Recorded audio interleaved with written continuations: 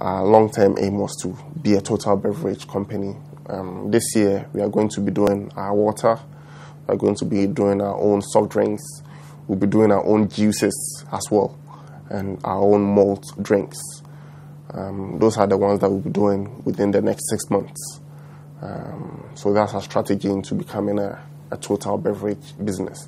Um, we are still in, in, we are still talking to some partners that want to do wine in Ghana. So maybe within the next year or two, we'll look at that sector as well.